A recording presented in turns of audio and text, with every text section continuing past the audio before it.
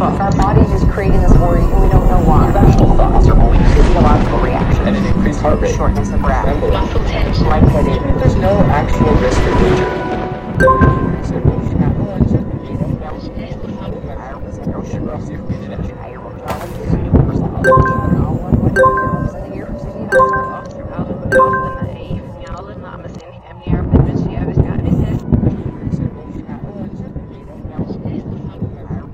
With